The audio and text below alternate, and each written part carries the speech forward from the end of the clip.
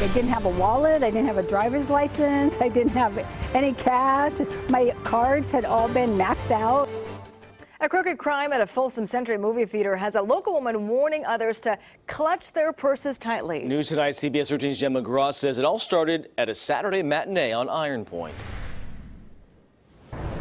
Barbara Dodds and her husband Carl bought movie tickets to see the latest comedy on the silver screen.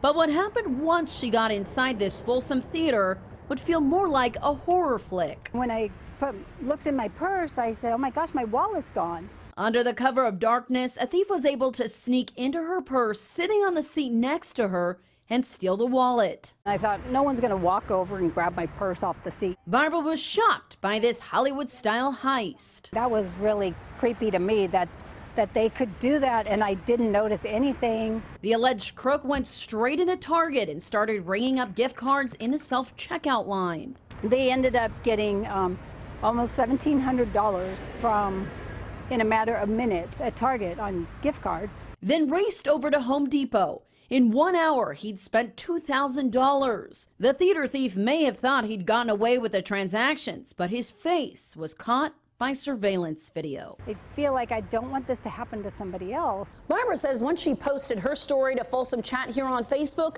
at least five people chimed in saying the same thing happened to them. The manager here said that, um, yeah, he said this, they do this all the time. They climb under the seats they get purses and wallets. So now she's hoping for a happy ending with these blockbuster thieves getting busted. I think we think it because we're in Folsom, we're safe. You're not really safe anywhere. I think you just have to guard your purse and no matter where you are.